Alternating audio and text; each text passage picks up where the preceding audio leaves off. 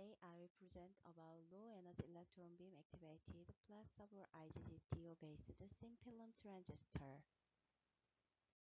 In most research, especially Department of Chemical, New Material, Electronic, Electrical Engineering, Physics, annealing or thermal treatment is used for improvement of the properties. There are many kinds of annealing method. Every annealing uh, method has merit and demerit. If you're using polymer substrate, it is so difficult by furnace annealing. Of course, low temperature is okay, but most devices require over the 300 degrees, even the thin film transistor. E-beam irradiation only use the electron acceleration kinetic energy. It can be control of surface crystallinity. However, this method has brief research history. Especially low energy electron beam irradiation part, there is not exact analysis and result until now. In addition, electron beam irradiation can be applied large-sized device.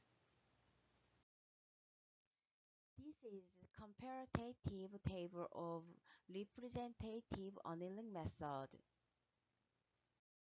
Electron beam treatment technology appear in this picture. Electron generated from the electron gun is moved to surface of the sample. Electron beam penetration depth is very low than other energies. Electron beam annealing system with cutoff probe measurement for measuring of electron density. We measuring electron density as induced RF power with DC power. Today I present E-beam irradiation annealing method which used with this range RF power 150 watt with DC power like this. The electron density of electron beam is like this. This is the fabrication process of bottom gate structure IGZTO-based TFT for channel activation by E-beam irradiation.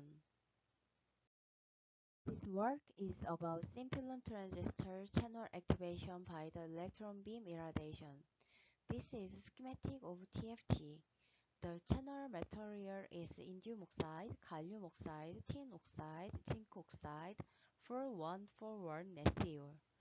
After fabrication device, we carry out electron beam irradiation on channel layer. Then, we control irradiation DC voltage. This is the variation of oxide surface roughness by DC power of EBA. The surface roughness were reduced as increasing of EBA DC power even the PI. MIM structure also fabricated for measuring electrical properties by the electron beam annealing. Leakage current is reduced as the DC power of EBA. However, dielectric constance and capacitance is similar as the variation of EBA DC power. This is electric properties of IGZTO TFT as the channel thickness. The field effect mobility reduced as the increasing of channel thickness. This is electric properties of IGZTO TFT as EBA energy. The field effect mobility achieved 35.358 square centimeter per voltage second. We want to show that this method can apply the flexible device. So we fabricated the full structure device on polyimide with the uh, silicon, silicon substrate. The channel activated by electron beam annealing. And then substrate of the device was removed, removed by chemical etchant. Before the after remove substrate, device has similar transfer curve and same field effect mobility.